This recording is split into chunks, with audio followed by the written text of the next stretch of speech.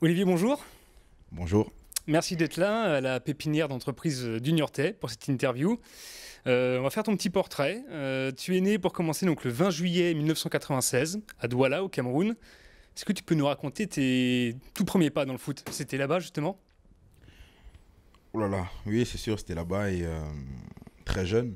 Après c'était pas forcément en club, je jouais plus dehors avec mes, copains d'école, avec les, mes, mes, amis quoi. Je commençais peut-être à 4 ans. Donc c'est assez tôt. Et euh, ensuite, euh, ensuite, je suis parti. Ensuite, je suis venu en, en France où j'ai vraiment pu euh, commencer dans un club dit vraiment avec une licence, et etc. Donc à quel âge tu es venu en France? À 6 ans. Ah oui, donc en fait très jeune, tu as, quitté le pays pour venir en France Oui, c'est ça. C'était un choix des parents? Comment ça s'est passé? Oui, c'était un choix des parents, sachant que ma mère, et ma mère était déjà en France avec mes frères. Donc euh, moi, je suis resté euh, au Cameroun histoire de me faire au pays aussi, de, de, de, voir la famille, de grandir aussi un peu avec la famille. Donc ensuite, euh, c'était prévu déjà que, que je rejoigne mes, ma maman en, en, France. Quel souvenir tu, tu gardes de cette petite enfance au Cameroun? Ben, Un souvenir assez bon, assez magnifique. Parce que j'étais juste un, un, petit jeune qui, qui était avec son père, qui grandissait. Et il m'apprenait beaucoup de valeurs. Il, il a vraiment utilisé ce temps-là pour, euh, pour me transmettre des choses de, de la famille, de, de lui-même, comment il a grandi, comment il a fait ses études, avant de pouvoir moi aussi, à mon, à mon tour, euh, aller vers euh, mes expériences. Donc ensuite, tu l'as dit, tu arrives en France. si je dis pas de bêtises, tu as commencé le foot en France à la Garenne-Colombe, c'est ça? C'est ça, j'ai commencé le foot à la Garenne-Colombe en poussin première année ou deuxième année. En tout cas, c'était en poussin. Ça s'était tout de suite très bien passé. C'était euh, jusqu'à aujourd'hui, c'est ça fait partie de font ce club fait partie de mes clubs euh, de cœur parce que c'est vraiment une famille que j'ai trouvée là-bas euh, avec le président Alain Viau, Mathieu Pasquier, et j'en passe, Stéphane Suir, Sébastien Pandola, Sami Moussaoui et tellement de coachs Bernard qui, qui, qui m'ont fait du bien là-bas avec qui j'ai grandi, en même temps des joueurs avec qui avec qui j'étais inscrit là-bas qui, qui sont aujourd'hui euh, toujours des amis. Et euh, je profite justement de cette interview pour, euh, pourquoi pas, organiser un truc. S'ils voient cette interview, qu'on puisse organiser un truc des anciens joueurs de la Garenne Colombe pour aller manger. Ah, donc ça t'a vraiment marqué en fait cet épisode-là? Ouais, Oui, bien sûr, carrément. Ça m'a marqué parce que j'avais jamais joué dans une structure et tout de suite en arrivant là-bas, j'ai trouvé une famille. J'ai trouvé une famille, c'était vraiment. Le football était vraiment pour moi et est pour moi un moment d'évasion où je peux vraiment tout lâcher, tout décompresser. Et tu, je pense que tu sais, un enfant, quand il se retrouve sur un terrain de foot, tout ce qu'il veut, c'est tout donner et s'amuser. Et donc ensuite, euh, tu rejoins un centre de formation de club pro euh, à Metz. Donc ça, c'était à quel âge? Mais c'était en préformation, donc je devais sans doute avoir 13-14 ans. D'accord. 13 ans. Comment ça s'est passé là-bas? 13 ans et demi. Ça s'est passé très bien, c'est pareil. Ça c'est pareil, club familial. J'ai eu la chance de d'évoluer que dans des clubs euh, où ils sont assez proches des joueurs, ils sont assez proches des joueurs. Et euh, ça s'est très bien passé. Je fais euh, trois ans là-bas, en préfaux et deux ans de formation, avec des éducateurs magnifiques. J'ai eu Sébastien Raymond, Bertrand Antoine, M. Walter, M. Schaeffer, Olivier Perrin tout ça, tout. Sébastien Muet je suis obligé de citer leur nom parce que c'est des, des, personnes qui m'ont marqué.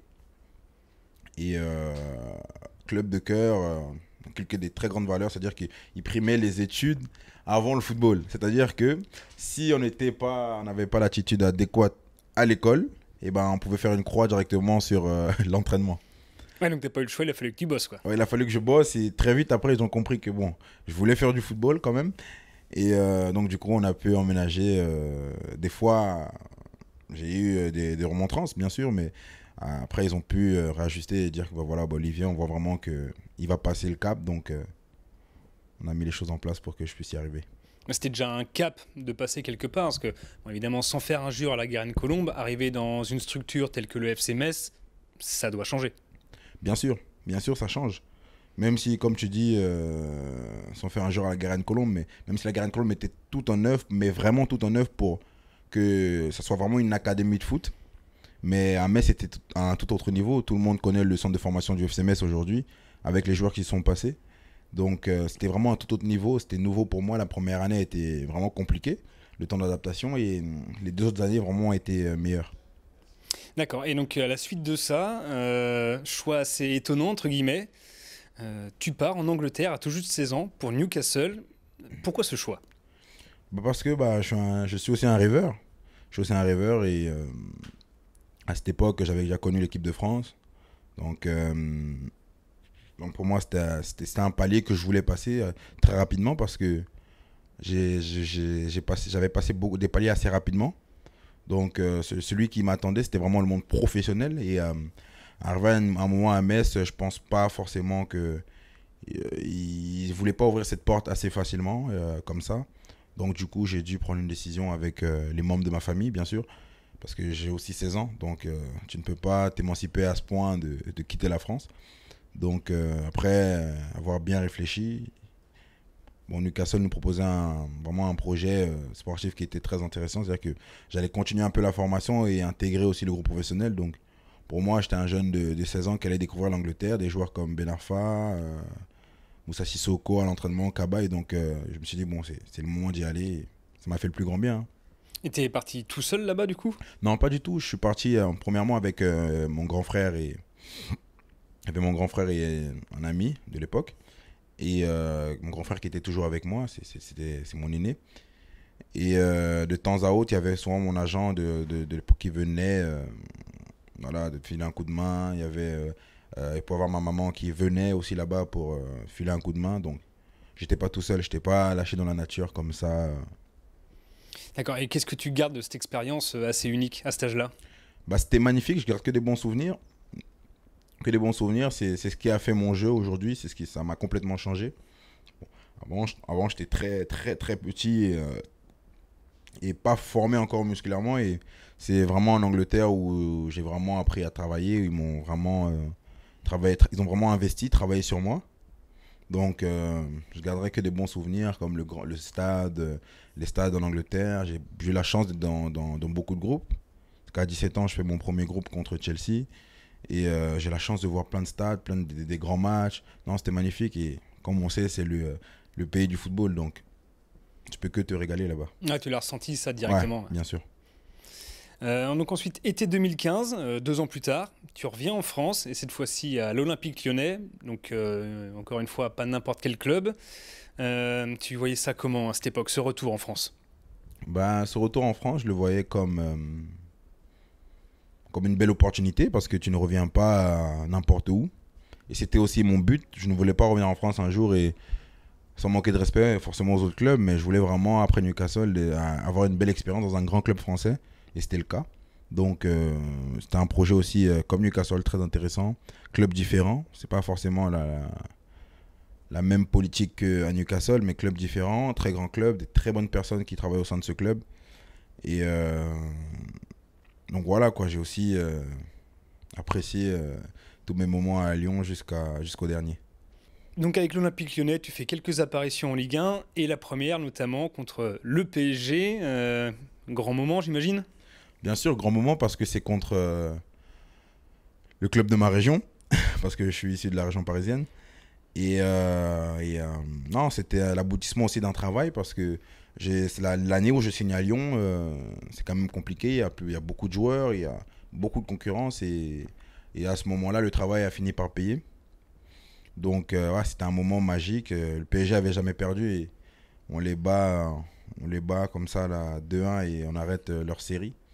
Donc, c'était magique et inoubliable. En janvier 2017, tu es prêté en Ligue 2 au Gazélec Ajaccio. Euh, évidemment, dans ce genre de cas de figure, on se dit c'est pour gagner du temps de jeu, c'était ça? Oui, c'était ça. Et euh, ouais, j'avais besoin de jouer régulièrement. Clairement, j'avais besoin de jouer régulièrement parce que quand j'ai goûté vraiment les pelouses euh, à Lyon et le fait de s'arrêter, d'être sur le banc, de toutes ces choses-là, c'était compliqué. Donc au bout d'un moment, ben, j'ai réclamé vraiment le, le, besoin de jouer. Et euh, Lyon ne pouvait pas me l'offrir à ce moment-là, et c'est quelque chose qu'on peut comprendre.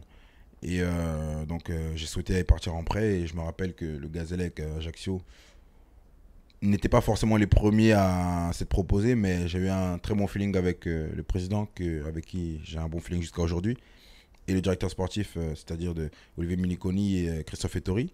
Donc, je suis arrivé au Gazellec, ça s'est très bien passé. Euh, donc, tu fais la fin de saison euh, au gaz et l'année suivante, tu restes là-bas. Donc, en gros, tu passes un an et demi en Corse. Belle expérience globalement. Globalement, très belle expérience. Déjà, les, les premiers mois, belle expérience parce qu'au bout de 4 mois de prêt, c'était 4 mois, je marque 4 buts et 2 passes décisives. Donc, c'était pas mal. C'était un bilan pas mal pour un milieu de terrain.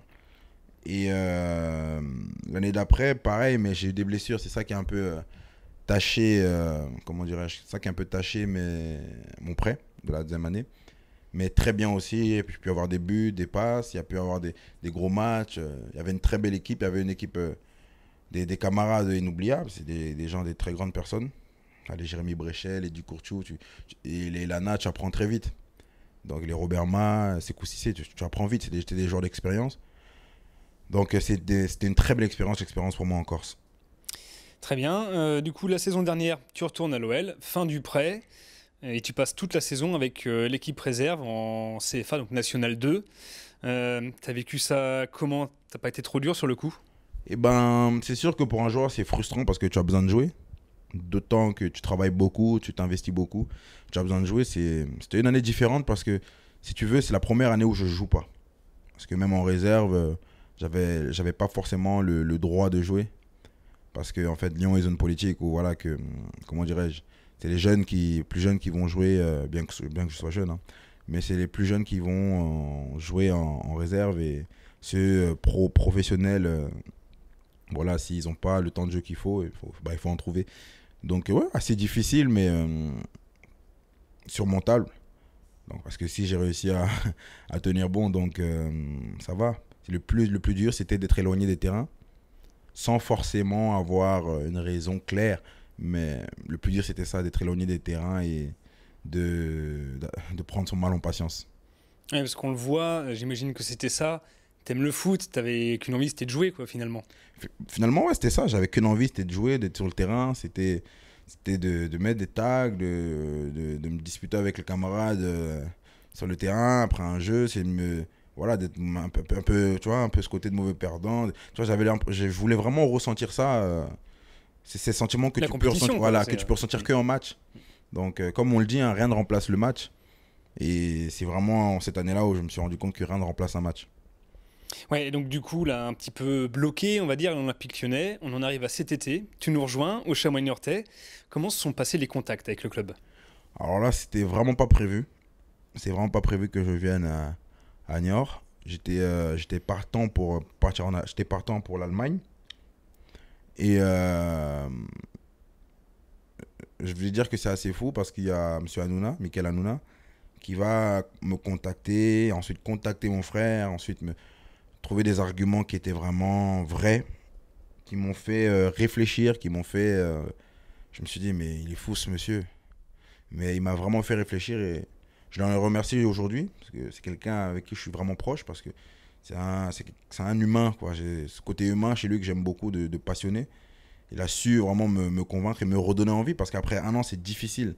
Tu as peur de faire confiance euh, en des gens. Et euh, donc le contact est passé par lui. Et seulement lui, parce que je pense que si ça passait par quelqu'un d'autre, je ne serais pas forcément à Niort.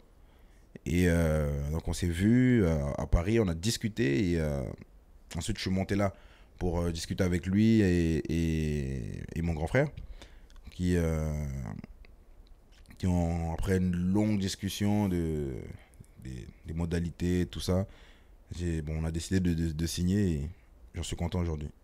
Comment s'est passée ton intégration ici? Bah Après l'intégration, assez facile parce que c'est pas un club comme les autres. On peut voir qu'on est l'équipe la plus jeune de, de, Ligue 2.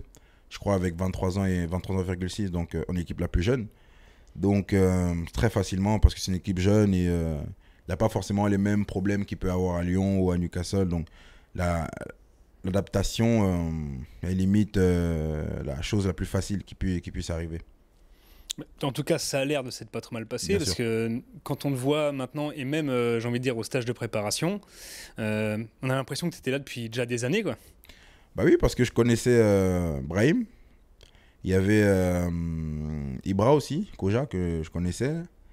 Et euh, donc, ils m'ont mis à l'aise. Ils sont arrivés un peu avant moi. Et, euh, donc, c'était assez tranquille.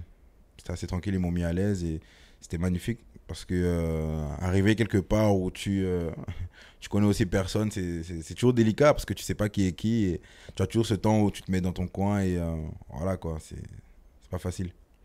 Alors, va venir sur un petit trait de ta personnalité. Tout le monde aura remarqué ça, et c'est plutôt une bonne chose. Tu es très compétiteur, même aux entraînements, le petit exercice, tu as envie de le gagner. Tu as toujours eu ça? Ouais, ça, des fois, ça peut être très, euh, ça peut être très difficile à, gérer. Je sais que le coach, euh, c'est pas facile aussi pour lui tout le temps parce que je suis grognon quand je, je, je perds ou il y a quelque chose qui va pas dans mon sens, surtout sur le terrain. Donc, ouais, c'est, je suis difficile sur ça. Quand il y a un petit jeu, des fois, je perds. Les autres, le, ils savent, hein, donc ils me chambrent beaucoup. Quand il y a un petit jeu, quand il y a une petite compète, même euh, arriver en match, même le match nul, je le prends souvent comme une défaite. Donc, euh, c'est difficile à vivre et j'espère aussi que ma femme et mes enfants le vivent bien.